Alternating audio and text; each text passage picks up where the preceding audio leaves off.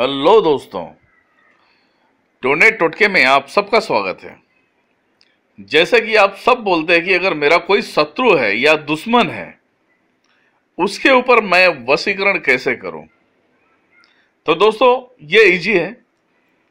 अगर कोई शत्रु आपका बहुत बड़ा दुश्मन है और आपको सही तरीके से रहने नहीं देता या आपको बहुत परेशान करता है तो भी आप उस पर विजय पा सकते हैं।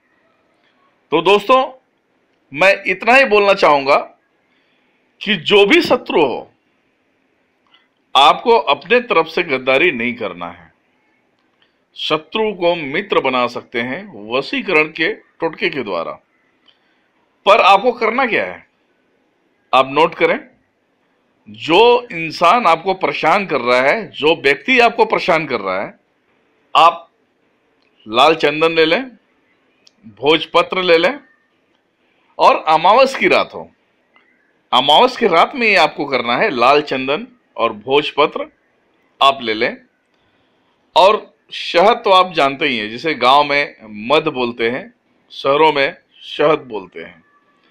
तो लाल चंदन से आप भोजपत्र पर उस व्यक्ति का नाम लिख दीजिए, एक बॉटल में शहद भर दीजिए आप। एक छोटा बोतल हो, उसमें शहद भर दीजिए और उस भोजपत्र को शहद में डुबा कर रख दें अमावस की रात में आप भोजपत्र को शहद में डुबाकर रख दें और वो 12 घंटे के बाद असर करेगा और वो व्यक्ति जो आपको गालियाँ दे रहा था, झगड़े के लिए आता था कंटिन्यू वो वो व्यक्ति आपके समक्ष आएगा तो सही, पर आपसे गलत व्यवहार नहीं रखेगा। आपसे प्यार से बात करेगा और वो प्यार एक दोस्ती में बदल जाएगा। तो दोस्तों, यहाँ पे दुश्मनी खत्म करने की बात है।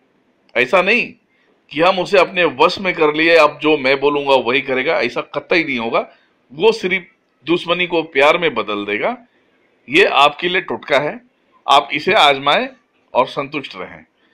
तो दोस्तों, अगर इस वीडियो को देखकर आपको अच्छा लगा हो तो प्लीज़ लाइक करें कमेंट करें सब्सक्राइब करें। Thank you so much.